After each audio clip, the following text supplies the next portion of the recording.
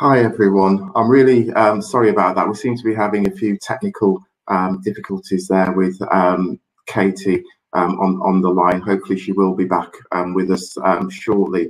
But well, let, us continue. We have about another 15 minutes or so, and it's quite important that we uh, have an opportunity to listen to some of your questions and have a response from our from our panel. So it's great to see Caroline, uh, Musa, Sam, and uh, Liah uh, back with us. So the first question for the panelists, so that um, Harry, um, how would you define social mobility in the world of diversity and inclusion? And how would you identify those that fit into this group? Does anyone want to share their thoughts um, with us? So how would you de define social I'm, mobility? I'm happy to jump in, Patrick, and give the classic lawyer's answer, which is, of course, it depends. Mm. Um, th- there is no definition. Um, social mobility really is about opening up opportunities for people from backgrounds which are non-traditional. That's the mm. that's the phrase we use because it means different things for different people in different environments. I think traditionally speaking, it is about you know wealth class. Um, you know the the normal um, markers of those are, tend to be what your parents do for a living, and um, whether or not your parents went to university, and um, whether you advance in terms of social status by attending university or making more money than than your parents did. But I think, to be honest with you, it's far more fluid than that. I mean, the other speakers have talked a bit tonight about accents, about regional differences, about things things like that. I think, from my perspective, and I can't speak on behalf of the Law Society, but part of our role as ambassadors is actually to show that there is a huge variety of people coming from a huge variety of backgrounds making success and that success looks different to different people. And um, you know we've got like musa said earlier we, we've got people that come from and um, they're asylum seekers they come from they come outside the uk they, they couldn't speak english and they've sort of managed to navigate through those systems. We have people who come from um, non-traditional backgrounds but they're also um, lgbt so they they have different issues there as well. So I don't think there's an easy way to say basically if your parents earn less than thirty thousand pound, you're poor, and therefore you you you fall into this category. It, it's more complex, but it's mm. you know the, there's lots of us that are fighting. I think a lot of these battles on lots of fronts. That's great. Thanks, Caroline. Did you want to uh, come in as well? I think it is. It's a really complex thing. It's one of those situations. I think when you know it, when you see it and it's quite difficult to write down what we mean when we say well who who would be a candidate for support because you know they require some social mobility assistance. I, I think it, it's it's really really hard. And it, it is hard when you weave that in with you know all of the other the other protected characteristics because class is not a protected characteristic so I think it, it is complicated, and people can fall into that category at very different times in their life, or their families can. They can dip in and out of it. We seem to, in this country over the past decade or so, really seem to have promoted quite unstable working practices for families that can make it difficult and people will dip in and out of requiring you know state support. That is not the only test because you could have two parents who are in very in employment but very low paid employment but where they they themselves haven't been beneficiaries of a strong education system and that can be for lots of reasons. It can be opportunity, it can be ability, it can be they've had to focus their attention elsewhere.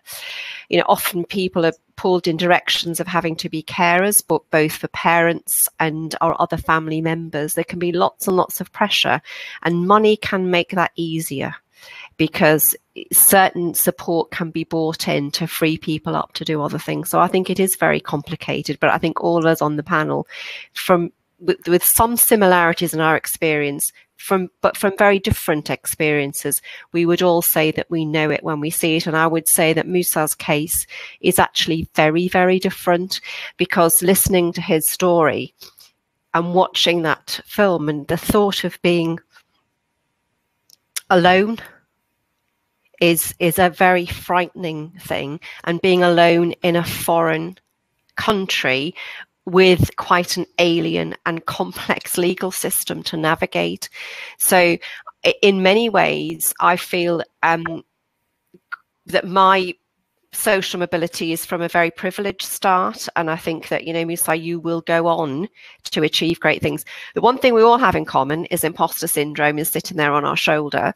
And we all beat ourselves up when we get a bit of rejection. But you know what? That rejection is you know it's a bit like missing a penalty isn't it? You think oh no but you get back up and you play again. You get back on the pitch. You want to join in this dance until in the end you know when life comes to its end it's over.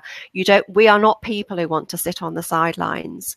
Um, and i think that's what will make what will make us all continue to be advocates of social change.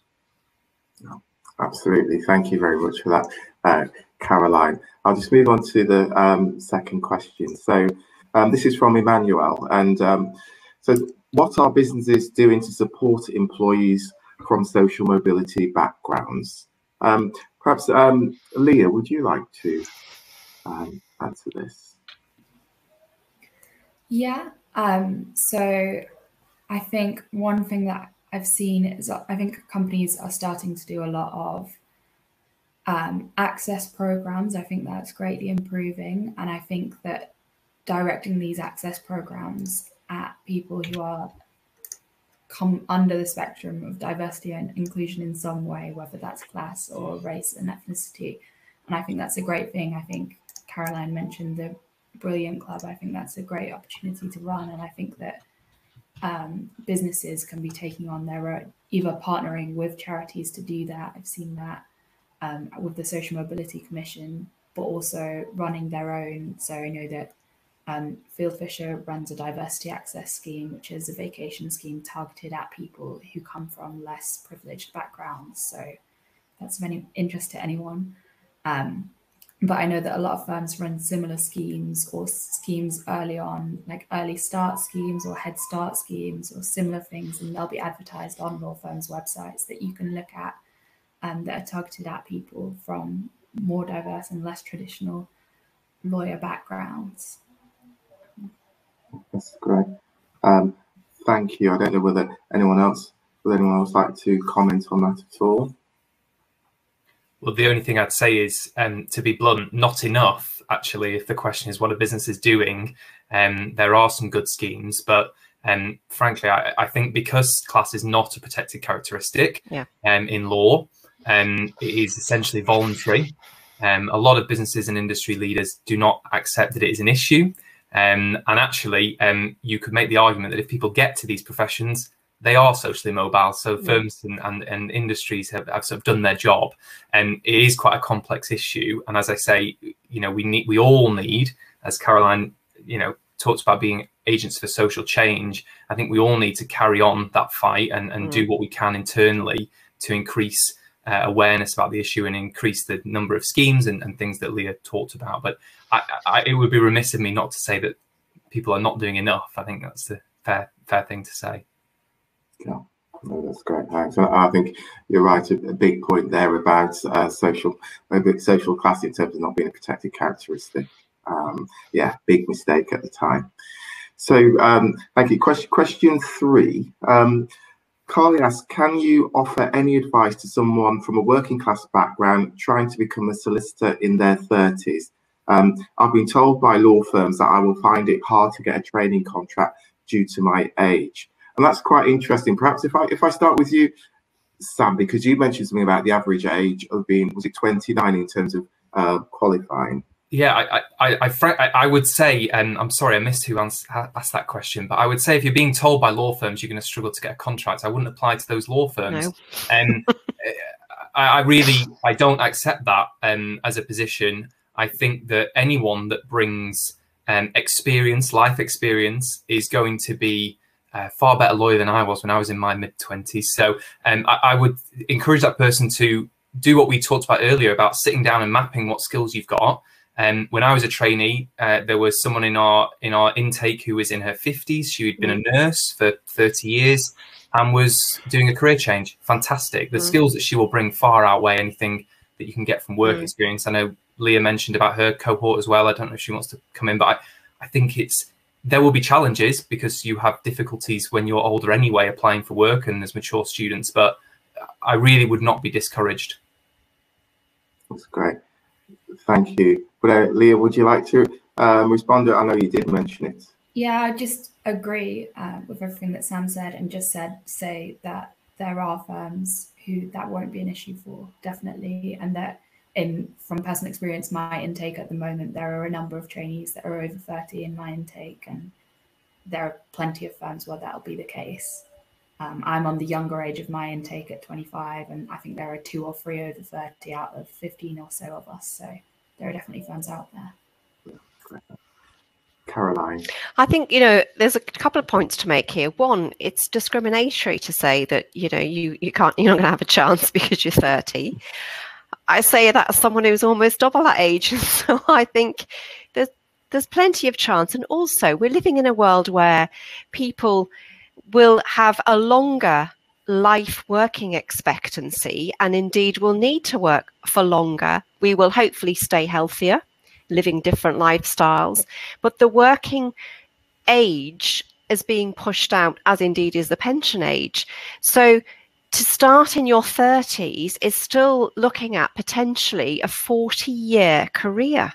Uh, so it's very, very short sighted um, to say, well, actually, you know, age is a barrier. I think perhaps, you know, some people would think I want a young person who I can, you know, perhaps asked, you know, to work incredibly long hours, whereas someone that little bit more mature probably think we don't really need to do all of this. There's a smarter way to achieve what we need to to achieve here. But I I don't think you should be taking no for an answer. I think you you know you'll find the right firm and then you'll fly when I was at law school, many, many mature people were coming out of what was then was the Greater London Council as it was disbanded and all came to the College of Law. Some people arrived there who'd had military careers or had worked in, you know, the special services. So I, I, I would not take no for an answer. Just keep on going. That's great. Thank you, um, Caroline. You did scare me a bit there talking about how long. Uh, I, I, thought I was going to be close to the end of it. Don't do that to me. Thank you for that. Um, so question for uh, Musa, perhaps this one's um, that you, you can answer. So um, Laura has asked, um, what do you think are the biggest barriers to social mobility? Uh, thank you, Patrick. I mean, there are quite a few, but uh, one of the main ones I think is that people don't uh, come up with their problems or take the rejection and don't uh, follow it up because they feel that they don't have a way out or they don't have someone to support them. And i think that is one uh, uh, one uh, something that need to be worked on because there is help for everyone. There is help. You can find help. You have to look for it. You have university that uh, you have the well-being officer or you have uh, you have people that can help you but uh, you don't go and ask for this uh, for the help. And that is for me one of the biggest problem. And people suffer in silence and then they lose their confidence and they lose their will to carry on or to work for it and then they just try to find other things to do. I think that's one of the main things. Uh, second uh, uh, other thing that i think is institution as you said are doing a lot but that there there is more to be done. And also uh, making policies that uh, make it a requirement to welcome people from diverse uh, backgrounds. I mean, for me, one of the greatest thing I like about ULaw is that uh, when my when exams are uh, marked, they are not marked by the name but for their numbers, and then you see the grade that you have, and that is one of the greatest policy that need to be implemented everywhere and not just to the exam but also when you recruit someone you don't need to know about their name or their gender or uh, if it's white black gay or uh, uh, social status. You only have to see at their skills and i think we are go- society is still going to struggle till this kind of policy is implemented everywhere. And then you'll see that at the top are not just uh, uh, people that have gone in private education but are people that actually uh, have the ability and skills to do the work. Some, thank you. That's great. Thank you. That, that's really helpful, Musa. Um, I'm conscious of time, but there is um, one question that has just come in uh, for Caroline, which I would like to um, just ask, hopefully you can pick up on. So, what if you feel like the exams are scary? How can you prepare for them better? A apart from practice papers, um, given the sort of COVID climate, uh, teaching online has been really difficult for this person. There we go. I think we, you know, we all accept and understand that this climate has been a great challenge, and exams are always scary. And you know, back in my day, we just did back-to-back exams, no open book, and you had to try to memorize everything. So this is a very new world I'm navigating here as dean, with far more directed learning. I think online can be a challenge because we all benefit from real life. We are humans, and we are tactile, and we are live, and that's you know what we all engage with, and we're making the very best of an online experience. A tip I always use uh, there's a fantastic herbal remedy called Dr. Bach's Rescue Remedy. That is something you, know, you can buy it in boots, you can take it in a pastille form or a few little drops on it. Just for me and for everyone I know, it will just take away that kind of anxiety about sitting down to do the exam because there's nothing worse than that feeling that you actually can't even get yourself settled in into the zone. I think the the exams themselves, people understand, the markers understand the circumstances under which people have operated. You know, we've had some proctored exams here at ULaw, others, you know, where people are, are doing the exams, but they're not being, they're not on a webcam the whole time. Um, and allowances are having to be made. And, you know, this whole COVID generation, and I don't like to use that term it, because it will even itself out but people will look and think you were you were part of this very difficult time in education. But i think you just must say to yourself i've got to overcome the exam. The exam is necessary but your working life is not an exam. The work your working life is how you operate as a human being. And if you can get through the exams you'll never look back. I mean you will keep the notes because i've only just recently got rid of my notes from decades ago. But this is a, a, necessary professional training to go through in order to be a practitioner.